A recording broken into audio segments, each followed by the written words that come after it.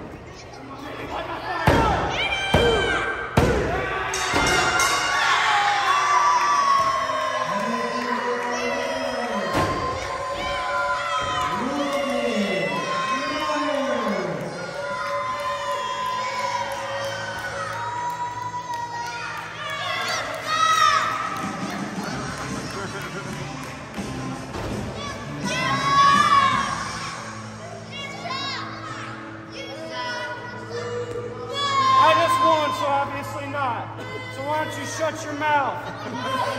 Rat-faced kid.